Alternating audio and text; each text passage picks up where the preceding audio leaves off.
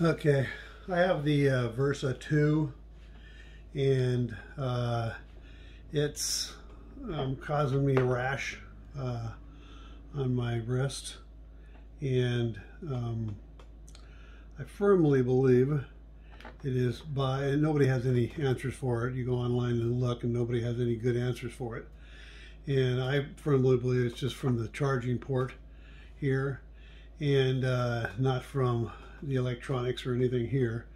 It's just a charging port. So what I want to do is uh, have you, to stop this happening, is take a piece of tape and uh, take it and go across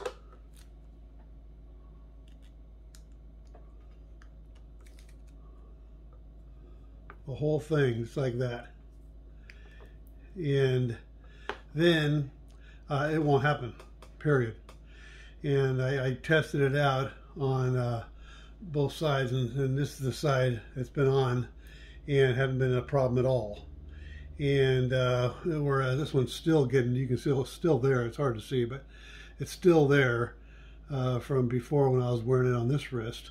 And it just never goes away you know it's going to be it, it's, it is going away now but it's been a while. So anyway if you want it to stop happening uh, what you want to do is take a piece of tape uh, everyone has different ones, so I'm not showing you uh, every, you know, all of this is a Versa 2, but there are different ones and different thicknesses. But you just want to cover up that part. You don't need to cover up this part here. Um, it won't change anything if you do. If you just want to take it, take it, or you want to take it and uh, cut a piece and go through the trouble of uh, cutting it in half, you know, uh, so it just does just just your one piece. Uh, you can do that too. You know what I mean? So anyway, you just want to have it far enough to where it'll go over and get away from your skin. You don't want these edges touching your skin either.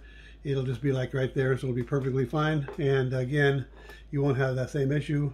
Uh, not even a little mark. Okay, absolutely perfect. So anyway, give it a try. If you have any uh, questions, put them down below. Or if you have any suggestions, put them down below. And we'll get back with you right away we'll keep it updated as we go. But so far, it looks like it's really working great.